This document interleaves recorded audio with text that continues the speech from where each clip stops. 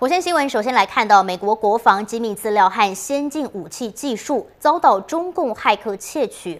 华盛顿邮报引述了美国国防科学委员会提交给美国国防部高层的机密报告，指出遭窃的资料包括了爱国者飞弹系统，还有 F 三十五联合攻击战斗机等多项的先进武器技术。消息传出呢，就引发了国际各大媒体的关注。对此，美国国务院保守的回应，只表示美中双方已经成立了网络安全工作小组应对。不过，现场媒体对这个回答提出质疑。美国《华盛顿邮报》二十八日报道，中共骇客攻破美国国防承包商和政府机关网络，窃取大量先进武器资料。美国国防部报告指出，网络间谍行动已经让中国大陆取得多项先进科技，同时也削弱美国军事优势。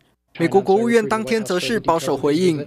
You know that cybersecurity is one of the administration's top priorities, and you have both the U.S. and China as two of the world's largest cyber actors, and it's important that we continue to sustain meaningful. Dialogue and work together。华邮报道指出，美方遭窃的机密资料范围涵盖美国陆军的拦截导弹系统、海军的神盾导弹防御系统、逆踪战机、爱国者飞弹系统以及 F 三十五联合攻击战斗机等近四十项先进武器计划，以及其他近三十项国防技术。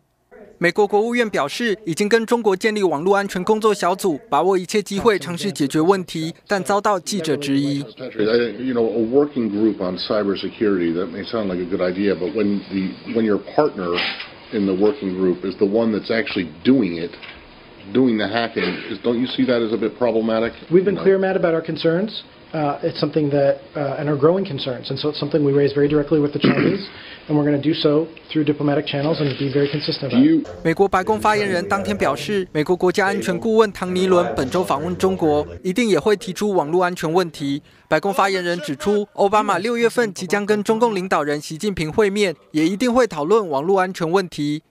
新唐人亚太电视吴博生编译。